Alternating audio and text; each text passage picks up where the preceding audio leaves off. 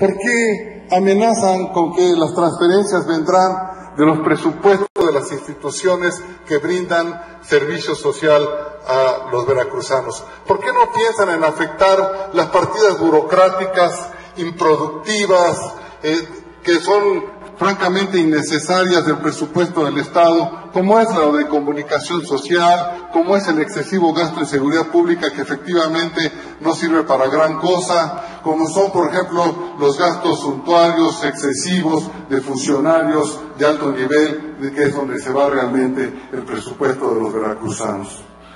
En realidad lo que pasa aquí, lo que hace que ocurre esto más allá de la descalificación y de la segura corrupción que impera en ese instituto porque se ha manejado a discreción de cada gobernador que saquean esta, estos eh, arcas, es que hay una empresa calificadora que nos amenaza con una baja calificación, es la famosa Fitch Ratings de México, que en septiembre del año pasado dijo o anunció que el sistema de pensiones requeriría aportaciones extraordinarias del Estado, lo cual, eh, de suceder, limitaría la calificación crediticia para Veracruz. Esto realmente es lo que nos espanta. Estamos sujetos entonces a la situación de las calificaciones de estas empresas que nos dicen si vamos bien o vamos mal en los manejos financieros del país.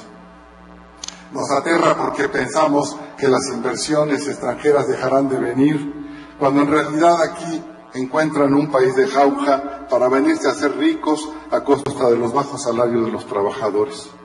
Y luego, ¿qué observamos? Pues observamos los cambios que piensan hacer en esta supuesta reforma que, pues no faltan los lambiscones que suben a decir que todo está todo dar, que es una gran reforma, que esto que ahí ya basta de denuncias y de protestas, porque en Veracruz la gente vive feliz. Y yo no veo en la calle ni veo en ninguna parte que ocurra aquí una crisis del Estado o que se va a derrumbar el gobierno. Ya lo veremos, ya lo veremos. Compañero, su tiempo concluido, le rogamos eh, concluir si es tan amable. Sí, voy a concluir y todavía voy a seguir más adelante con otros puntos. El salario regulador, ya lo decíamos, una afectación para todos los trabajadores. Vemos pensiones multimillonarias de rectores, exsecretarios de Estado, altos funcionarios, magistrados, que se fueron con sus últimos salarios pensionados, cientos de miles de pesos. Ah, pero a partir de ahora los trabajadores se les hará un promedio mediocre de sus bajos salarios para que no se puedan ir con el salario del 100% al último momento de su vida laboral. Claro, a los pensionistas les empezarán a cargar a partir de ahora el 12% a su pésimo salario. Es una vergüenza la situación de los pensionistas. Es una vergüenza que además se les vaya a cargar ahora el 12% su tiempo ha concluido. Sigan chiflando porque los de afuera también les están chiflando a ustedes. Diputado. La jubilación. Diputada, voy a concluir. Nada más. porque en otras ocasiones hemos tomado el tiempo y no ha habido ninguna restricción para otros hemos diputados tomado que se alargan. en puntos. Por eso, eh, permítame, diputada, voy a concluir. Concluya, Solamente quiero decir lo último. El artículo transitorio decimocuarto es el saqueo legalizado del Instituto de Pensiones del Estado. Es decir, que a partir de esta ley se empezarán a validar las deudas que se tengan comprometidas con el gobierno del Estado, lo cual significa que las deudas anteriores que se, que se sostienen hasta la fecha van a ser borrón y cuenta nueva. Esta es la forma en que el gobierno del Estado le carga la mano a las deudas, la corrupción, la incompetencia a los trabajadores para que sean ellos, como lo han sido en otras reformas, quienes paguen los platos rotos de su incompetencia, de Compañero, su ¿se y de su registrar corrupción. en la Muchas gracias. ronda? Gracias. También se les quitaron otros derechos, como el del derecho a tener un, un apoyo para la renta de una vivienda económica. Y después también se les quitaron los derechos alimenticios, de despensa, de vacaciones, de esparcimiento. Ahora solamente quedan los préstamos de corto y largo mediano plazo, quedan eh, pues las pensiones, las jubilaciones. Se ha ido incrementando con el paso de los años el porcentaje que se les descuenta al trabajador de su salario para ir generando su pensión. En 1953 el trabajador no aportaba absolutamente nada para su pensión y después a partir del 58 se fue incrementando este porcentaje en el 5, en el 6, en el 7, en el 9, en el 11, hasta llegar ahora al 11.5, 12%, con la expectativa de que en el 2021 dará el 15% de su salario.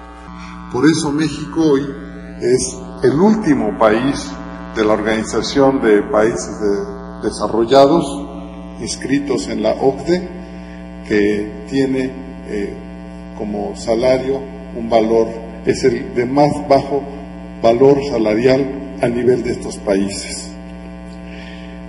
Tenemos, por lo tanto, que de los porcentajes que van eh, aportando el trabajador, los patrones y los beneficiarios pensionados que van a empezar ya a cotizar a partir de esta ley, que el 50% del total integrado de las pensiones corresponde a las aportaciones de los patrones y de los trabajadores. Cada vez tenemos que cooperar más para tener una pensión. Se dice de las bondades que se fijaron en las viudas, en las viejitas, qué lindos, qué bueno que se acuerden de ellas.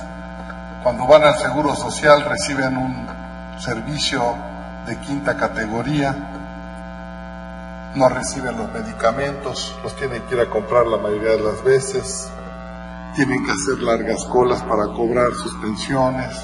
Los servicios que se les brindan son de quinto mundo. Y nos ponen ahora este concepto del sueldo regulador, que no es más que disminuir el valor del salario a la hora de la cotización, de la eh, puesta del valor del salario para la pensión. Si un trabajador va escalafonando durante sus 30 años de servicio y al final logra la plaza más alta a la que tiene derecho de acuerdo a su puesto, cuando va a generar, a gestionar su jubilación, se encuentra con que lo bajan a la categoría mediana. Es lo que podríamos llamar una jubilación mediocre. ¿Para qué escalar si al final te van a poner un salario regulador un salario promedio que van a sacar desde tu salario más bajo con el que empezaste hasta el último más alto. Era un verdadero derecho que el trabajador, y era una buena práctica, que al final de su vida laboral el trabajador tuviera acceso a la mejor plaza para irse con el mejor salario y con la mejor pensión posible. Ahora esto se lo quitan. No me digan que esto es algo justo, que esto es algo eh, eh, pues equitativo de ninguna manera.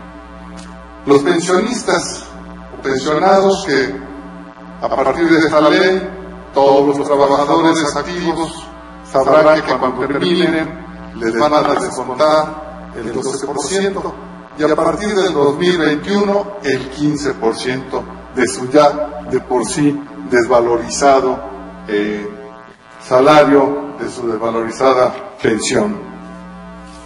La jubilación a los 65 años de edad, imagínense ustedes a los profesores de 65 años dando clases a pequeños en los kindergartens, en las primarias, cuando un maestro ya pues, está desgastado, está cansado, no tiene la misma práctica, la misma fortaleza para atender a un grupo de pequeños que tienen gran energía, ahora se tendrán que pues a ver cómo le va a hacer y los niños, por supuesto, pues también van a sufrir esta situación del profesor que tendrá que estar ahí. El incremento, eh, perdón, la, la, conformación en el artículo 77 del Consejo Directivo, que va a estar conformado, como se dice, pues, por los representantes del gobierno y los representantes sindicales. Hay sindicatos que ni siquiera son legales y están ahí representados, como el CENTE, como el SDT, el único que tiene un registro legal es el CETSE, y sin embargo ahí están, pues definitivamente no representan a la clase trabajadora, han pues reflexionado en su responsabilidad. Y por supuesto el transitorio decimocuarto que pues, perdona la deuda del gobierno del Estado. Y el problema de esta reforma pues no es la descapitalización por los justificantes que nos dicen en el dictamen. El problema de esta reforma es que ha habido un pésimo manejo financiero de este instituto y ahora le cargan la cuenta al trabajador. Eso no viene en ningún momento de este documento de dictamen. No hay una corrida financiera, una explicación actuarial que nos explique claramente por qué los incrementos en la edad de vida, por qué los incrementos de los eh, eh, años de servicio eh, van a perjudicar a la larga la capitalización de este instituto.